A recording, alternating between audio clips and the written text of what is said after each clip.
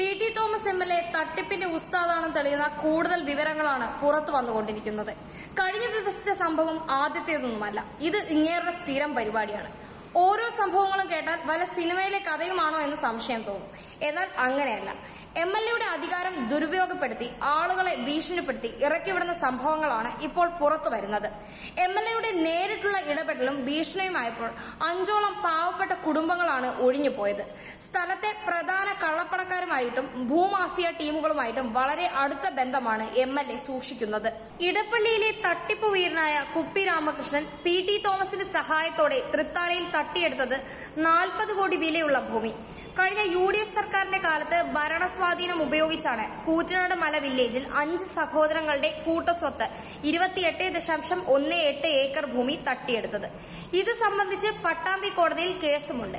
ഇനി ഇടപ്പള്ളിയിലേക്ക് വരാം.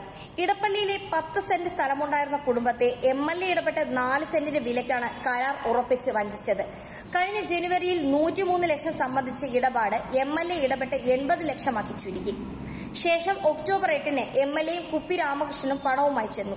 എന്നാൽ എൺപത് ലക്ഷം രൂപയെന്ന് പറഞ്ഞ് നൽകിയ പണം നാൽപ്പത് ലക്ഷം രൂപ മാത്രമേ ഉണ്ടായിരുന്നുള്ളൂ. ആയിരത്തി തൊള്ളായിരത്തി തൊണ്ണൂറ്റിയെട്ടിൽ സമവായത്തിലൂടെ ഉണ്ടാക്കിയ കരാർ റദ്ദ് ചെയ്ത് കുറഞ്ഞ വിലയ്ക്ക് ഭൂമി സ്വന്തമാക്കാൻ രാമകൃഷ്ണന് ബുദ്ധി ഉപദേശിച്ചത് പി ടി തോമസ് ആണ് തൊണ്ണൂറ്റിയെട്ടിൽ ഉണ്ടാക്കിയ കരാർ എൺപത് ലക്ഷമാക്കി കുറയ്ക്കാൻ എം എൽ എക്ക് ചങ്ക കൂട്ടുകാരനായ രാമകൃഷ്ണൻ പണം നൽകിയെന്നതാണ് സൂചന. അതായത് നല്ല ഒന്നാന്തരം തരം തട്ടിപ്പ്. റിയൽ എസ്റ്റേറ്റ് തട്ടിപ്പിൽ മാത്രമല്ല എം എൽ എക്ക് പ്രാഗൽഭ്യമുള്ളത്. കോൺഗ്രസിന്റെ തന്നെ മുഖപത്രമായ വീക്ഷണത്തിനിട്ടും നല്ല ഒന്നാന്തരം പണിയാണ് പി ടി തോമസ് കൊടുത്തിരിക്കുന്നത്. എം എൽ എ മാനേജിംഗ് ഡയറക്ടറായി പ്രവർത്തിച്ച കാലത്തെ കോടികളുടെ സാമ്പത്തിക ക്രമക്കേടുകളെക്കുറിച്ച് അന്വേഷിക്കണമെന്ന് മുൻ ജീവനക്കാർ പരാതി നൽകിയിരിക്കുകയാണ്. മുൻ മാർക്കറ്റിംഗ് മാനേജർ മുതൽ റിപ്പോർട്ടർ വരെയുള്ള ഇരുപത്തിമൂന്ന് പേരാണ് K P C C president Mullappally രാമചന്ദ്രന് പരാതി നൽകിയത്. വീക്ഷണത്തിന്റെ മാനേജിംഗ് ഡയറക്ടറായി ഐശ്വര്യത്തോടെ രണ്ടായിരത്തി പതിനേഴിൽ മാർച്ചിൽ പി ടി തോമസ് ചുമതലയേറ്റ ശേഷം സ്ഥാപനം മൂന്നര കോടിയുടെ കടബാധ്യതയിലെത്തി. ജീവനക്കാർക്ക് ഏഴ് മാസം ശമ്പള കുടിശ്ശിക. കുടിശ്ശിക നൽകാനായി കെ പി സി സിയിൽ നിന്ന് ഒന്നര കോടി രൂപ കൈമാറി. പരസ്യം സർക്കുലേഷൻ എന്നിങ്ങനെ എട്ട് കോടിയോളം രൂപ വരവുണ്ട്.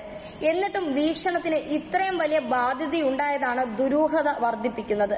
എന്നുവെച്ചാൽ സ്വന്തം പാർട്ടിക്കുള്ളിൽ തന്നെ അഴിമതിയും കൊള്ളയും നടത്തി പരിചയമുള്ള കക്ഷിയാണ് തൃത്താലക്കാർ വോട്ട് ചെയ്ത് തിരുവനന്തപുരത്തേക്ക് വണ്ടി കയറ്റി വിട്ടിരിക്കുന്നത്.